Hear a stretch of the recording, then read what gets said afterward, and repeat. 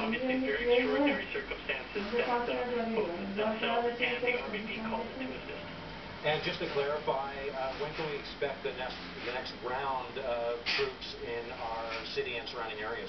Uh, within uh, the afternoon to early evening, I'm not too sure exactly what their deployment timings are. They are still at CFB Edmonton, but uh, it's a quick three-hour drive down to Calgary.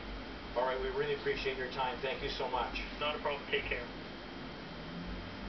You're seeing images from High River. The entire town there remains under a mandatory, a mandatory evacuation today.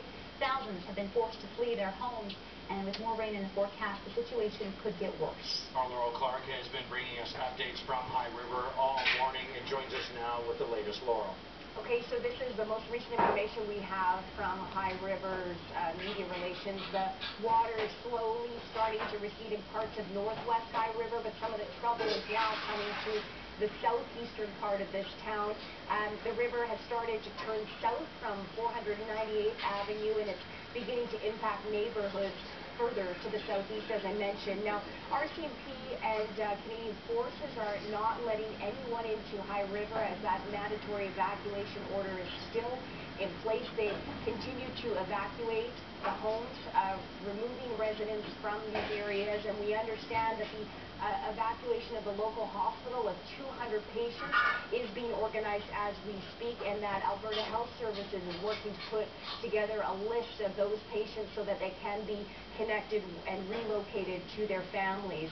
Um, there, ATCO is beginning to survey the gas system and we'll be going along with emergency personnel who are going from home to home to make sure everyone is out and they will be actually manually shutting off gas to those homes. The electricity remains off until the water recedes and until the evacuation is complete. Now, the Minister of Municipal Affairs, Doug, Doug Griffiths, is now in this region. We spoke with him a short time ago about what he's seen in High River. I know there's going to be some extensive damage. There is no doubt about that.